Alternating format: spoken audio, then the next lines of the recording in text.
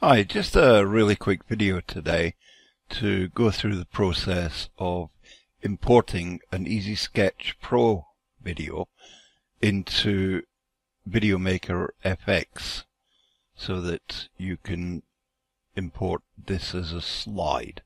So this is one that I produced already. It's uh, currently at 640 by 480 in size, but I've made a copy of that at the required 1280 by 720.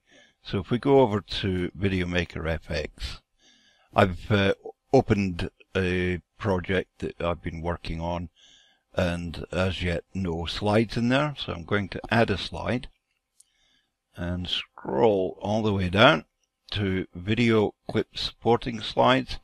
Now this slide is only seven seconds, so I'm going to choose the closest to that which is to show the first 10 seconds. Add the slide. On the right here to browse to the file that I want to import, which I've saved on my desktop. Just let it run through for a few moments. That's fine. And I'm going to go ahead and export that.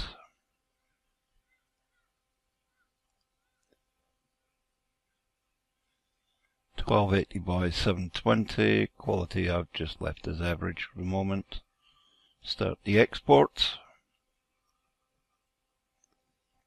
And this will take a, a minute or two to export.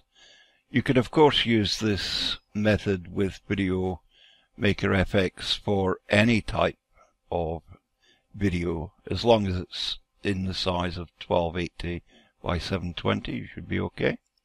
Just going to open that folder and play the video.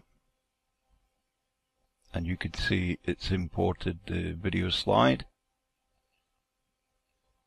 Goes through and works just fine Thanks for watching. See you in the next video.